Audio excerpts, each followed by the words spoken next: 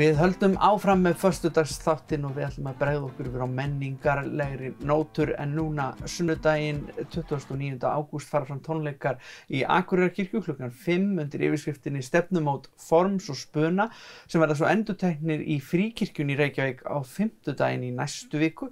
Hinga til mín eru þau komin Eithor Ingi Jónsson og Þórhildur Örvarsdóttir verið hjertalega velkomin, bæði tvö. Takk fyrir. Uh, sko, byrjum bara stefnumót forms og, og spuna, hvernig stefnumót er það? Já, er þetta ekki svona mátilega órætt til þess að allir séu eitthvað svona ekki með það? Já, Jú, ég...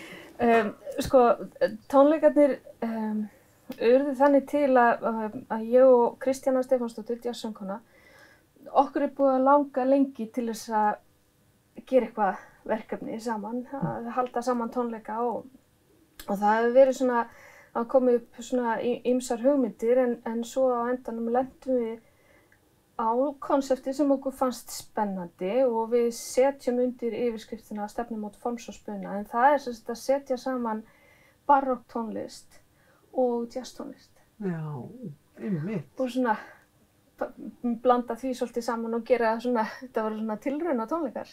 Akkurát, þetta er ekkert endilega svona stefnur sem að tengir í, í huganum, beint.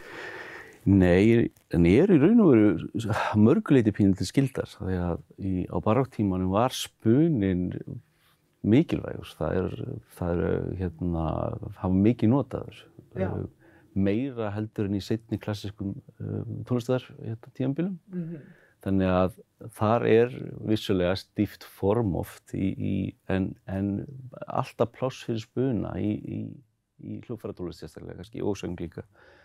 Þannig að þar, og það er kannski eins með jazz, en það er náttúrulega líka form og spuni, þannig að þetta vikslast og tengist fallega, finnst mér mjög fallega. Já. Svo er svona einhver sveibla í baróktólistinu oft sem að er, er léttar að ná framheldur en í bjóst við. Já, og þetta, þetta gengur príðilega saman og þetta, þetta konsept er ekkert alveg óþægt listamenn hafa svolítið verið að leika sér með nákvæmlega þetta að setja saman þessar tvær tónlistastefnur en ég held að í hvers skipti sem sko hópur á tónlistafólki mætist þá kemur eitthvað svona svolítið nýtt út. Mm -hmm. Mm -hmm.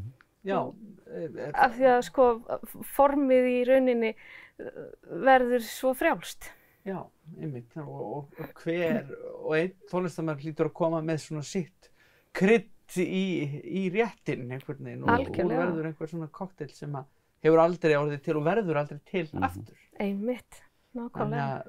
Og hvernig sko farið að því að setja saman prógram fyrir svona eh, tónleika? Sko við, við ákvaðum að um, við ákvaðum að fara þá leiða að velja svolítið best of. Já. Þannig að við, hérna, við, við í, í algjörði eigingirni þá fórum við Kristjana á stað og völdum svona söngperlur, barokk tímans, mm -hmm. svona bara, er mér ekki óhætt að segja það? Jú, jú, þetta þekktist. Þetta eru svona þekkt, þetta eru þekkt verk sem við erum að, sem við erum að leika okkur með og, og þannig að sko tónleikarnir ættu að vera aðgengilegir, þetta er ekki hérna, þetta er, við fyrum ekki alveg aftast í nótnarskapin. Nei, nei, nei, þú ert ekkert að vera mjög langt leittur til að hafa gaman að þessu, þetta er bara fyrir alla. Já, ég myndi segja það. Mm -hmm. Akkurat, og, og þið eru með einvala lið með ykkur. Já, svo sannarlega. Þetta er glæsilegur hópur. Já og ekkert mál að stilla alla þessa hljóðfæra leikara saman? Nei, þetta eru náttúrulega, þetta eru, þetta eru hljóðfæra leikarar á, á háu kaliberi. Við kallum okkur hérna klassísku deildina, já, hérna, já. Norðan, Norðansveitin er svona sérsaltið um klassíkina. Já. Og eins og heyrir þegar Eithor fyrir að tala um barokki, það er ekkert, það er engin tilviljun að við höfum hann með af því að þetta er hans svona sérs, algjörlega sérs, hans sérsvið, sko. Mm -hmm. Uh, og svo er Kjartan Valdemarsson er á, á, á piano, mm -hmm. jazz pianoleikari. Og Þorgrymur Jónsson er á bassa, uh, Pétur Gretarsson á trommur og slagverk. Þannig að það þarf ekkert mikið að stýra þessum stýra þessu fólki sko. Þetta er hérna þetta er, er vanur maður í hvern já, já, já, já, já. Þetta er og og, og þess að jazzin kemur þá meira frá sunnan Nei, deildinni það eiginlega raðaðist svolítið svoleiðis, sko. Já, Já, já. það er svolítið merkilegt þetta, er, þetta, eru, þetta eru tveir heimar að mætast í alls konar skilningi E- eiginlega, og jazz, sko. norður og söður Já. og það er bara verið að stefna saman alls konar hlutum Já. þarna. Um, hvernig er sko það er nú ekki oft kannski sem að orgel og píanó eru tvinnast svona saman Nei, það er alveg rétt. Það kannski bara er svona, eh, þarna mætast líka tveir ólíkir heimar. Mhm. Við nú munum nota önnur hljómbársljófæri, ég held að kjartan alltaf eitthvað að rífi nikku og, og ég mun spila semball líka. Já, Þannig að þetta verður ennþá meiri hérna, fjarlæða milli hljómbársljófærana. En Mhm. það er líka bara til þess að, að við sem ekki báðir að spila mjög lík hljóðfæri, hafa meiri breytið í þessu. En sko, já, svona mitt kannski hlutverk er svolítið að koma með barokkið inn í þetta og þá, þá tegund spunna og, og hérna og, og svona áferðar Mhm. um, og, og það virkar eiginlega bara ótrúlega vel Algjörlega. bara semball og píano, ég hef veginn ekki trúið fyrirfram Nei, nei. en það er svolítið sko, það, ég er nú unnið svo mikið með henni Hildu og, og það er, þegar henni dettur eitthvað í hug, þá veit maður að það mun virka. Því það er eins og það komið eitthvað svona svo að segja vel út hugsað. Þannig að ég var alveg rólegur yfir þessu sko, að ég hafi verið svona fyndist ég kannski verið að gem, vera í, í þessu samstarfi hérna, barokktólistamæður í jazz, á jazzháttið Ég var búin að hugsa þér staði í þessu, sko. Já, já. Þetta ekki hafa neinar áhyggjur af þessu. Uh, og tónleikarnir eru, fyrri tónleikarnir eru hérna fyrir norðan, Já, á, núna á sunnudaginn, já, klukkan 5 í Akureyarkirkju. já.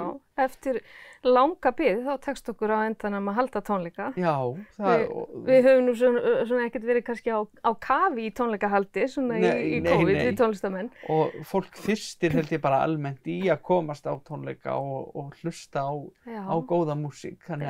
Og hver, hvernig ber fólk sér að því að verða sér út miða á, á fyrir tónleikana? Á fyrir tónleikana er langbest að fara inn á tix.is og, og kaupa meða þar. Mm Við munum að sjálfsögðu uh, vera með bara takmarkað magna miðum við hérna förum eftir öllum sóttvarnar reglum og ráðstöfunum. -hmm. Þannig að, að það, það er hérna... Það er þægilegasta það- leiðin. Já, Og svo e- eru setið tónleikarnir í næstu viku í, í fríkirkjunni í Reykjavík. já, á, á, á er að ykkur. Já, klukkan 12.